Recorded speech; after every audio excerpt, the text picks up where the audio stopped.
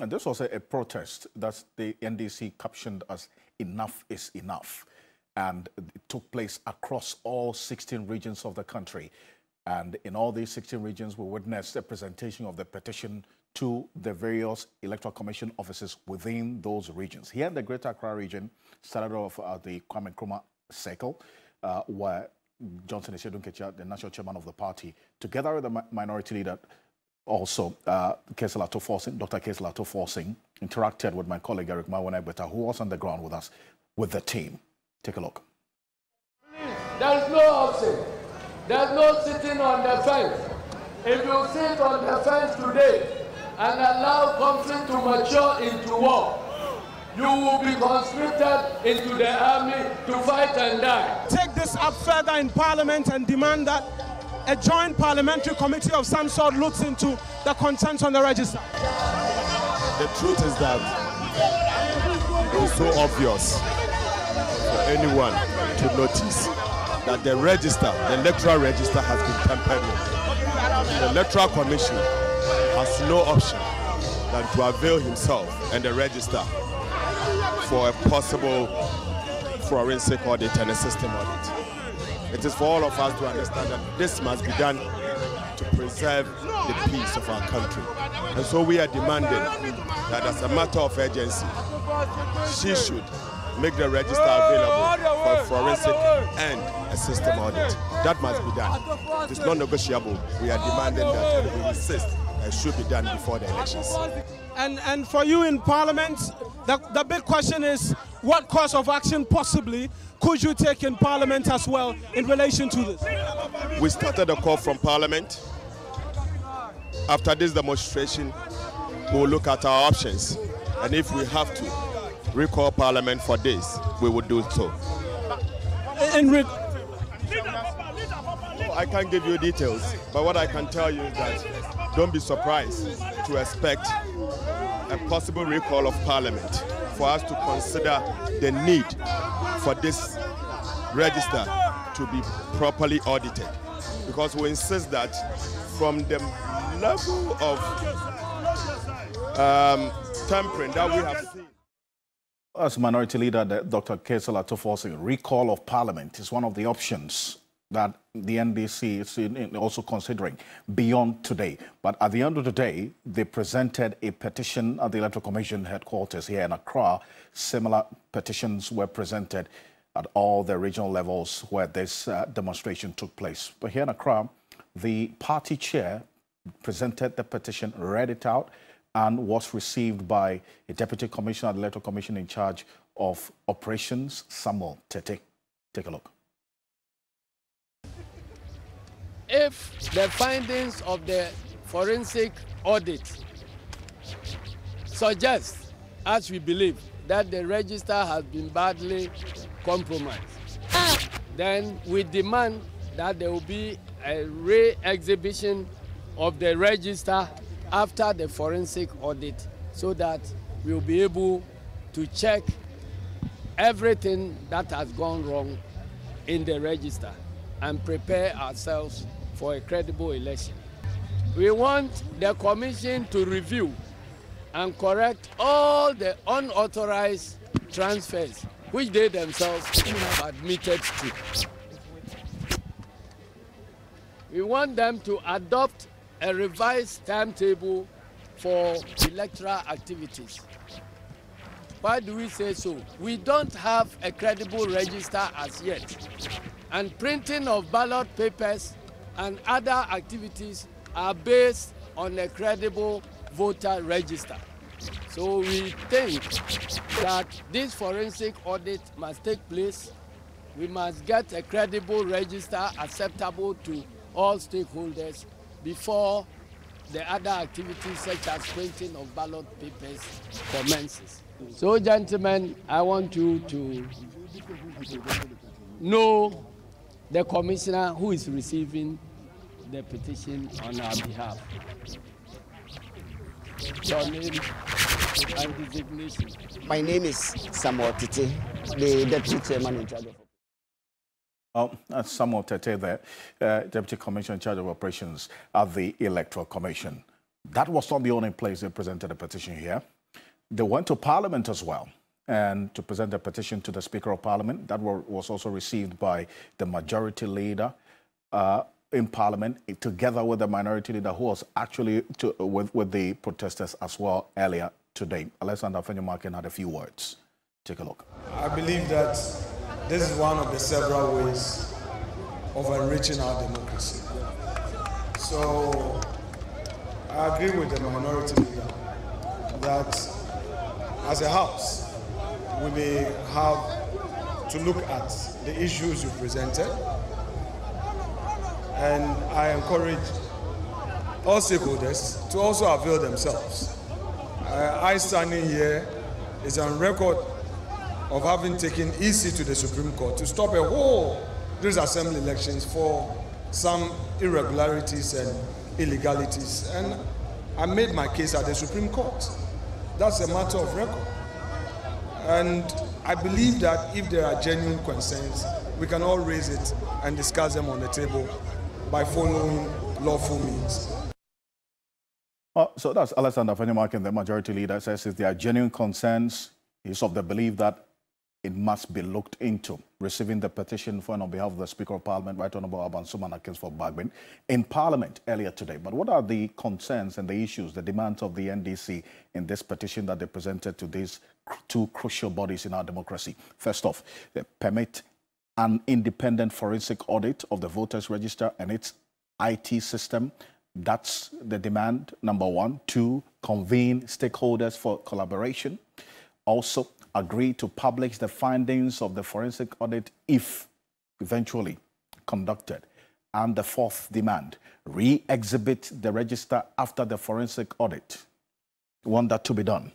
And also review and correct all unauthorized transfers. Adopt a revised timeline for electoral activities. Clearly acknowledging the fact that if all of these things are to be done with the forensic audit and so on, that definitely will affect the published calendar of activities for the Electoral Commission. We have 81 days, so you say probably 80 days, 80 days to December 7 elections. They know that there has to be a review and of, of the timelines for the electoral activities. Finally, institute accountability and integrity measures going into the election. So these are the demands, essentially, that the NDC captured in that petition presented earlier today. This was a demonstration that captured majority of persons who aligned with the NDC, but also the Progressive People's Party had some of their members on the streets. The young and the old were also on the street. Talk about the old. In the Western region, Paco Joe Peters, my colleague, interacted with a 96-year-old woman who had a reason to be on the streets today. Take a look. Mami, apa sih mama anda action demonstration ni? Ah, mesti kata women's bank. Na, ena wa yere sesamo ko. Wa ba roma bre. Ninety six years. Na madam wa le bana ma kwa. Kenya eh? in. Ninety six. Ninety six. Ninety six. Ina tuma nanto nanto what? Ada ma nanto because me nya bie. Wow. Embre embre embre ya. Membre. Mɛmbrɛ. Ɔnom nkyɛn na mbata. Ɔnom nso. Nti ɛhwɛ kɔ. Sisɛ. Ɛɛdɛ no. Ɛɛdɛ no no. Ɛte fa. Ɛne mi te fie kuma. Efie kuma. Mi te sukuu Na do. nanto ɔlɛ bi bodu ya. Yes. Yɛda se. Bɔtɔ bozi mɛ. Wɔfɔ mi daadi sukuu mi. Okay, yɛda se mɔmi. Oh, that's uh, Grandma Gladys there, 96 years old, uh, from Effiakuma there in Takoradi. And that's my colleague, Paco Joe Peters, interacting with her. Well, let's stay a bit further on this matter. Sheikh Aremeyaw Shaibu is a spokesperson of the National Chief Imam. He's joining us on Zoom. Sheikh, salam alaikum to you. Now, uh, thank you for joining us here on Ghana tonight. And I'm sure that the, Chief Imam is watching closely how things are playing out between the Electoral Commission and the NDC and up to this moment, th- does he lose sleep over how things are playing out now? Um, indeed, as at um, um, about uh, and, uh, several days ago, when I, I went to just um, give him some briefing um, about uh, the impending uh, demonstration by, by the NDC and other, other things having to do with the electoral environment and uh, the rising tension in the, in the country. And that uh, uh, religious leaders and other concerned are all raising their voices. And uh, it will be necessary that he also you know, offers his uh, elderly you know, advice. Um, and I think that when I told him that, um, he, he felt worried. Um, after I had suggested to him that uh, tomorrow, Wednesday, was when we wanted to put the thing before his advisory board. Indeed, he called me back and asked that it will be too late to deal with this thing on Wednesday, so we should quickly organize. That's how come we had to organize um, a sort of a peace, uh, what do you call it, a press conference uh, with some few media houses um, just this afternoon. So he is he has received the information with anxiety, with fear, with trepidation, with concern. Uh, at age 105, he is still worried about the state of a country that he cherishes so much, uh, and which is on the verge of being broken broken um, apart uh, because um, we are going to have an election. And it, it's a worrying for him also that um, every electoral cycle, we tensions in the country have to really um, reach this boiling point um, before we engage in, in elections. So it's, it's really a matter of um, worry, worry for him. Indeed, the two forerunners, I mean, the two most important uh, flag bearers, all of them refer to him as, as their father. In fact, the former president, John Dramani Mahama, you know, refers to the chief imam. And indeed, he said it's not just referring, but that, that's the reality, that his father, his father handed him over to the national chief imam. So he's, he's his father uh, His Excellency Vice President Bawumia also, also, you know, Chief Imam accepts him as, as his son. Uh, and from the day one he got into this, this position, it, it, it has been demonstrated that he accepts Chief Imam as his father. And uh, that's why the Chief Imam feels that he has now the grounds to be able to talk to his own children, uh, that he is concerned uh, about what is happening and if they could use their influence to talk to their own um, grassroots supporters to be careful, to be modest, and to be mindful of what we will do to throw this country into um, violence. I mean, having to learn the lesson from, from other other countries. So he's he, indeed he's speaking to all the flag bearers, but he's speaking to his own children. Uh, his, two, his two children. Uh, right, and, and you talk about the two children of the chief imam, then rightly said, but with this specific issue, it's not so much about the NDC and the NPP. It's a lot more about the NDC and the concerns they have about or with the Electoral Commission, is it not? Yes, I mean, it, it, it is true. But, you know, the issue about the election um, involves a number of stakeholders. So this issue cannot be discussed in isolation.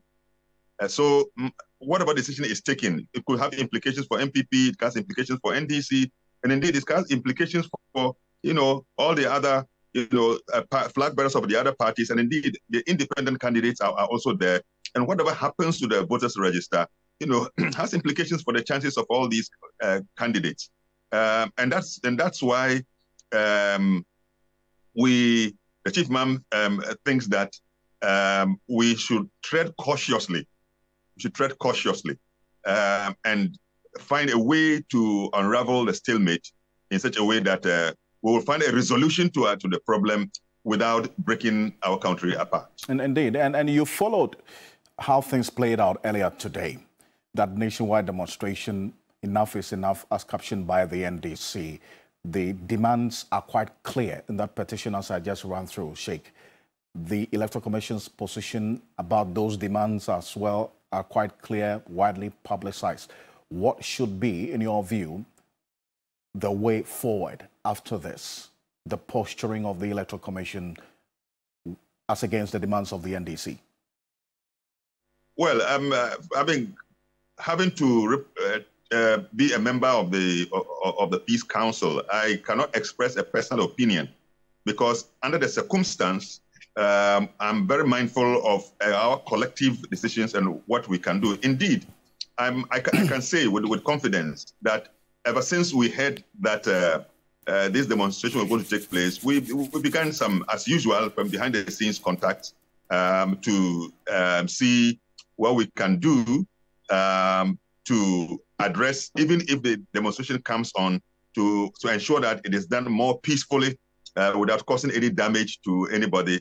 And then we also see then after the, the demonstration, what next? And I think that the door is still open um, for all concerned and all stakeholders to um, engage in the in the dialogue.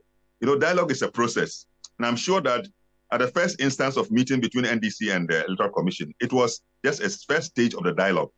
And I think the dialogue is a process. So maybe that first meeting might not have uh, led to a final resolution, but maybe another level of the discussion could lead us to a more uh, more agreeable um, position where almost everybody feels comfortable with the the mode by which we sanitize the voters um, register. So, so I I, I think that uh, let's we, we, we plead that cool heads prevail, cool heads prevail. We, uh, that's why all the parties have a council of elders. And then when we when we say you are an elder, it means that you are somebody gifted with wisdom, you have a lot of experience. And I think that rather than allow the country to explode, uh, the elders of these two parties can come together uh, and use the elderly wisdom so that even as we pursue our concerns, we will still keep the country country together.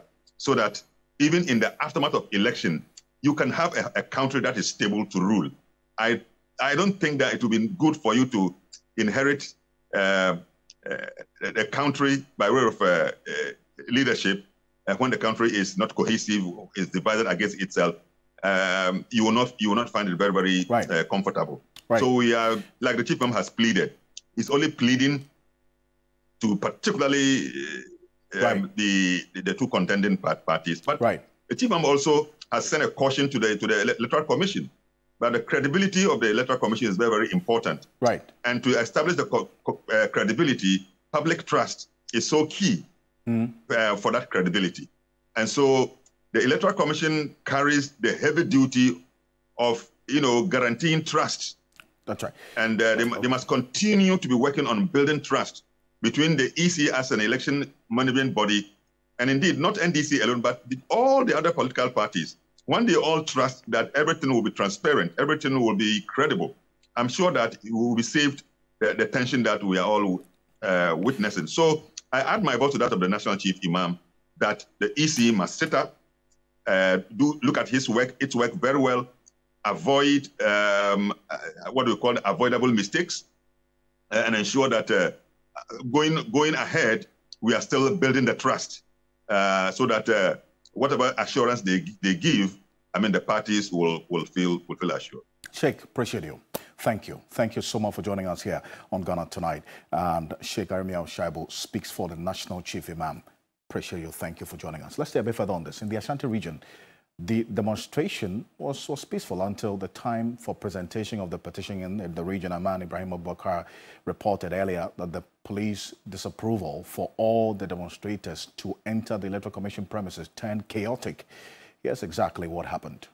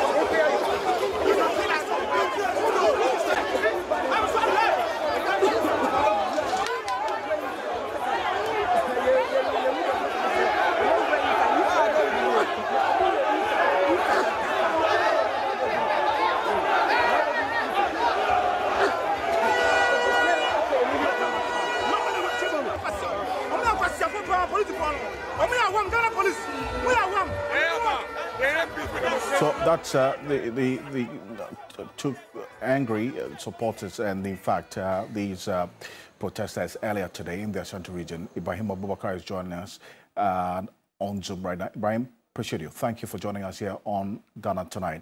We understand that as a result of what we just saw, three persons have been arrested by the Ghana Police Service there.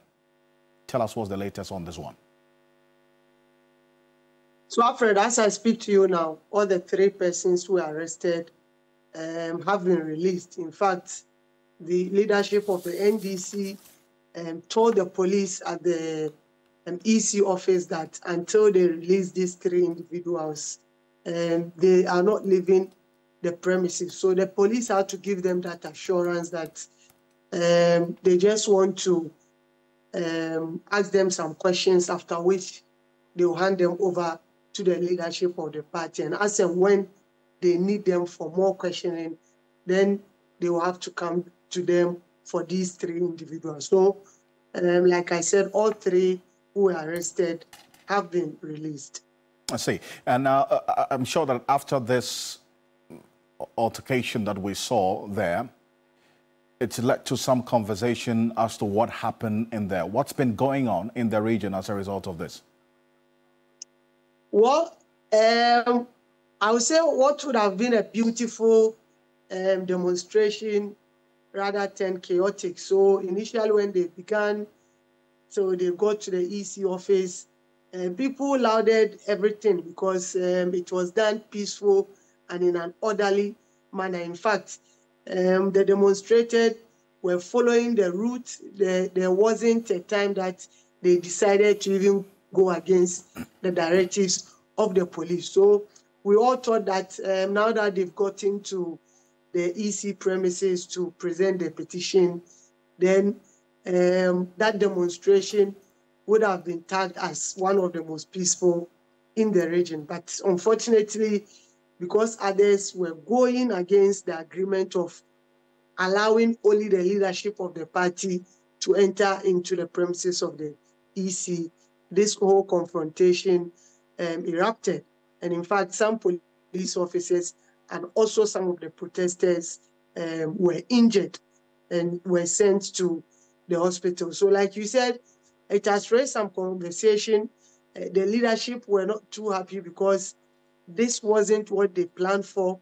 They wanted um, to hear that uh, uh the following day they've had a successful demonstration, but unfortunately, this chaotic scene happened. But in all, they said at the end of the day, um, looking at the massive turnout, they are satisfied with the um, whole turn of events. For this update uh, from the Ashanti regions. Ashanti regional correspondent Ibrahim Abubakar there followed the protesters in the Ashanti region every step of the way. This is your election command center. On the back of this, the Ghana Police Service has issued a statement. We'll put parts of the statement on the screen right now, essentially commending the general public for uh, the orderliness generally or largely of this uh, nationwide demonstration ended peacefully in all locations with the, with the exception of an isolated incident at Kumasi in the Ashanti region, which we just showed to you. In Kumasi, contrary to the arrangements agreed between the police and the organizers, the demonstrators attempted to push their way into the premises of the Electoral Commission. And then it says, and pelted the police with, with stones. Uh, the police managed to bring the situation under control and calm was restored. However, one police officer was injured during the incident and he is receiving medical attention. That's a statement issued by the Ghana Police Service on the incident I just showed to you. There's more of this on, on 3news.com. Make some time and visit 3news.com. But there was one notable development during this protest earlier today. When the protesters got to the Electoral Commission office to present the petition to the officials at the Electoral Commission, you know, it's not too far away from the National Cathedral site where the National Cathedral was supposed to have been built by now. Well, we have, some dugouts or some, we've seen some work going on there, which is supposed to be the foundation of the National Cathedral. Because of those holes that have been created, and the, and the, and the rains that we've had, there was some water that had filled these holes dug at the National Cathedral site. And some of the protesters had a field day swimming at the National Cathedral site, probably for some, some, some blessings, you know. But take a look at this.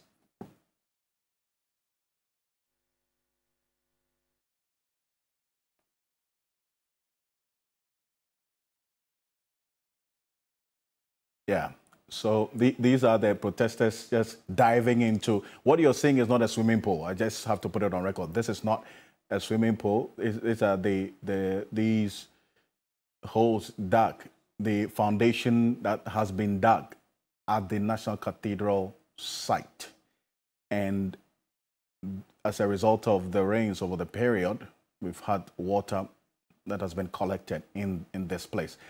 And these protesters then decided, some of them decided to just dive in and, and swim their, their, their anger and their frustrations against the easier way. There you have it. How about that? For the cooling moment of an almost eight hour protest. And this video is by Ketsi Dadzi TV. Um, capture these moments. That's on the on on on the on the on the lighter side of it. Um, but there you have it. Um, yeah, I think some of these things obviously do happen on the funny side of, know, on the light side of what happened earlier today, and. And talk about sports. Dennis Boberi Wadam is going to be joining me in a bit. He was telling me that probably these persons are training for the Olympics to to represent Ghana, but we certainly appreciate the team from Media General who are on the ground today. Eric Mayona Egbeta, Judith Brown, we have also Ishmael, and then also the many other people who were there. Derek, who, who was in charge of the photos you see there. Um, Clifford on the ground as well. Beatrice Edu at the Electoral Commission, the entire team great job done earlier today. So there you have it. There's more of these and everything related to this demonstration on 3news.com. Make some time and visit 3news.com. This is your election command center.